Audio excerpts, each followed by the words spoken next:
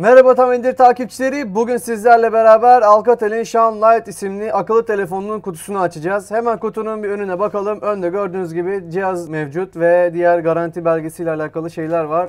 Arkasına baktığımızda ise telefonun teknik özelliklerinin yer aldığını görüyoruz. Hemen bunu koyduk buraya.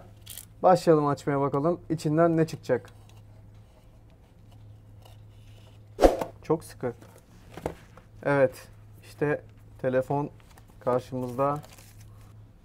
Güzel bir kaplama yapmışlar üstüne.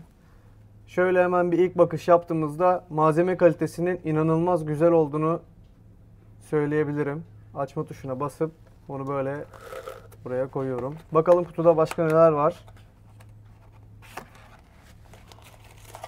Garanti belgeleri, kullanım kılavuzları var.